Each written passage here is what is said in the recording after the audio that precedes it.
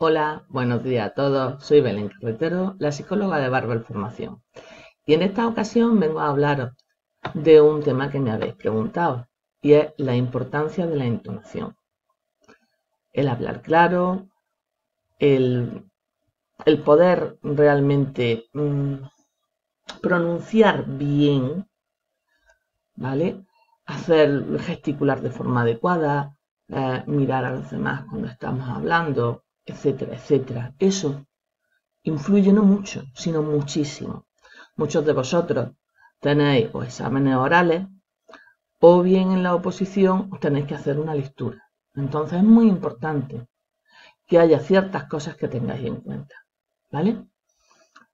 Como, bueno, ese es el tema que vamos a tratar hoy. Entonces, lo que sí quiero es que si os gustan los vídeos, os gustan los temas que trato, etcétera, etcétera, por favor que le deis al like.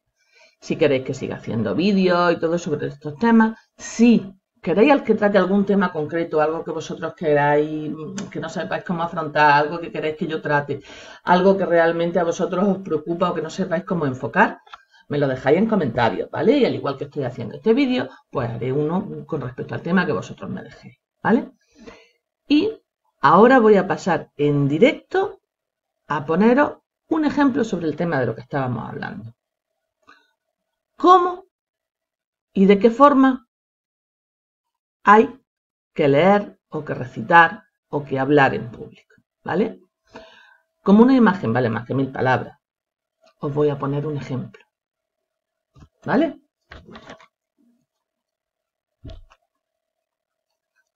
Voy a leeros una poesía. Del salón en el ángulo oscuro de su dueña tal vez olvidada, silenciosa y cubierta de polvo, veíase el arpa. Cuánta nota dormía en sus cuerdas, como el pájaro duerme en las ramas, esperando la mano de nieve que, abre, que sabe arrancarla. Ay, pensé, cuántas veces el genio así duerme en el fondo del alma. Y una voz como Lázaro espera que te diga levántate y anda. ¿Qué os ha parecido? ¿Os ha gustado? ¿La habéis entendido? Ahora os la voy a leer de otra forma. Del salón en el ángulo oscuro, de su dueña, tal vez olvidada, silenciosa y cubierta de polvo, veíase el arpa. Cuánta nota dormía en sus cuerdas, como el pájaro duerme en las ramas, esperando una mano de nieve que sabe arrancarla. Ay, pensé, cuántas veces el genio así duerme en el fondo del alma, y una vez, y una voz como Lázaro espera que le diga, levántate y anda.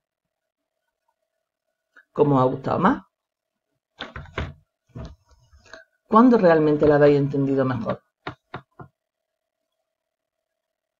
Es muy importante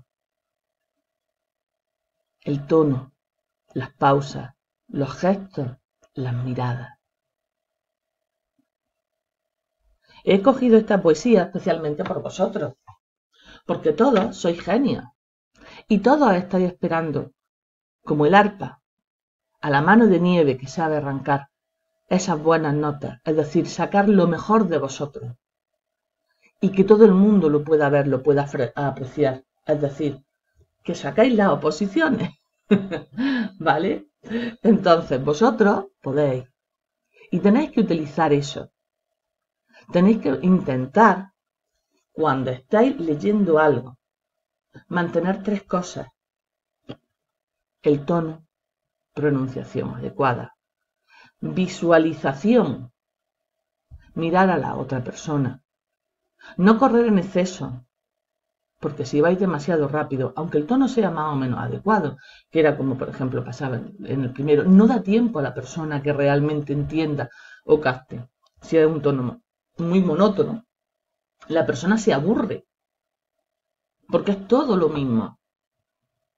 Las inflexiones de la voz son muy importantes, las pausas son muy importantes, el mantener la mirada al, a los que te van a corregir, a los que te están oyendo, al tribunal que sea, ¿vale? El que en ese momento, eso es muy importante. Y tenéis que conseguir que eso esté. Una de las cosas, por ejemplo, durante vuestra lectura o durante vuestra exposición. Es decir, son cosas que vosotros tenéis que plasmar.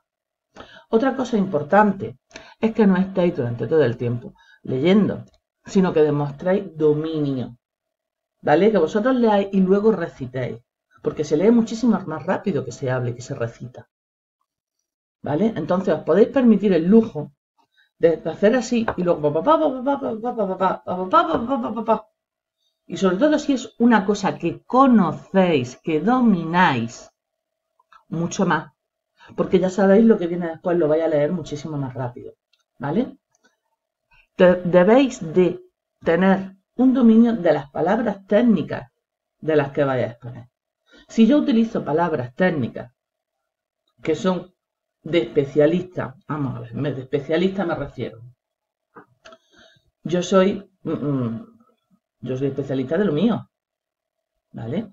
Seguramente si me preguntáis de alguna ley de, de tributario, de cualquier historia, no la voy a conocer, evidentemente. Y a lo mejor hay expresiones concretas que yo no sé lo que significan ni que tengo que ponerme a desglosarlas y analizarlas. ¿Vale? Entonces, ¿qué sucede? que como hay quien nos está examinando, quien nos tiene que puntuar, quien nos tiene que valorar, son especialistas, son gente que ese tipo de palabras las controla y las domina, debéis utilizarlas. ¿Por qué? Porque así demostráis vosotros mayor conocimiento. Por ejemplo, hay muchas veces que tú tienes que limitarte a leer lo que pone en el papel, ¿vale? Eso quiere decir que tú te tienes que haber acostumbrado previamente a utilizar esas palabras, a dominarlas, a meterlas en tu vocabulario diario. ¿Vale? Entonces, eso es importante. Importante es, uno, ir con ropa cómoda pero formal. Es decir, no vaya a ir de traje de chaqueta, ¿vale? Pero ni hombres ni mujeres, me da igual. No vais a ir, evidentemente, con traje de chaqueta, pero sí tenéis que ir con una ropa más o menos formal y de forma cómoda. Es decir, pues un vaquero y una camisa, o una cosa que sea pues, más o menos lo normal, como si fuerais un día al trabajo, lo que sea. Si estoy acostumbrado a ir con pantalones de pinzas, pues con pantalones de pinzas. Si es con faldas, con faldas, me da lo mismo. Pero ropa que sea cómoda y más o menos formal. ¿Estamos? Eso por una parte. Por la otra, tenéis que demostrar seguridad. Y para demostrar seguridad, tienes que mostrar firmeza al hablar, dominio de la situación. Es decir, si yo estoy así, no es lo mismo que si estoy así. Controlando la situación. Hablando de frente, mirando a los ojos.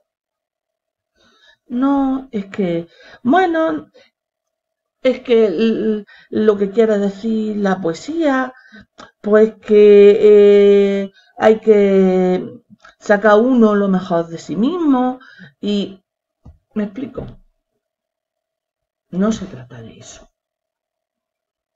Se trata de que miráis a la cara de frente toda la historia, que estéis rectos, que estéis bien colocados, que miráis a todos y cada uno de las personas del tribunal. Eso sí, Habrá personas con las que por el motivo que sea, porque van vestidas, por la cara, por lo que sea, de, forma automática sintáis más afinidad. ¿Qué tenéis que hacer? Centraros más en esa persona, es decir, porque tú te vas a sentir más cómodo y te va a dar seguridad. ¿Vale? Porque si mira que tiene una cara de ajo continuamente, al final tú dices, coño, ¿lo estaré haciendo bien o no lo estaré haciendo bien? Contra, que es que no sé si realmente, como no hace ninguna expresión, mientras que si te encuentras otra persona que tú lo ves más agradable, más tal, y que de vez en cuando te echa una sonrisa. O te...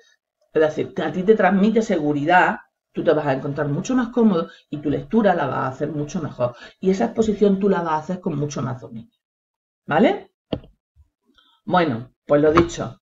Tened en cuenta todo eso que os he dicho y empezad a practicar. Otra cosa, la pronunciación. Para pronunciar bien hay trucos. Los ha habido siempre. Y tenéis que tener mucho cuidado con de dónde soy. ¿Vale? ¿Por qué? Porque muchas veces sin querer, al hablar, eh, de forma cotidiana, si es que es lo normal, nosotros expresamos y utilizamos expresiones propias de nuestro lugar geográfico o de nuestro entorno. ¿Qué sucede? Que si luego te las trasladas a otro entorno completamente diferente, puede que no las conozcan, que no las utilicen o que no las entiendan, no las comprendan o incluso que no las vean bien, ¿vale? Que las vean fuera de lugar.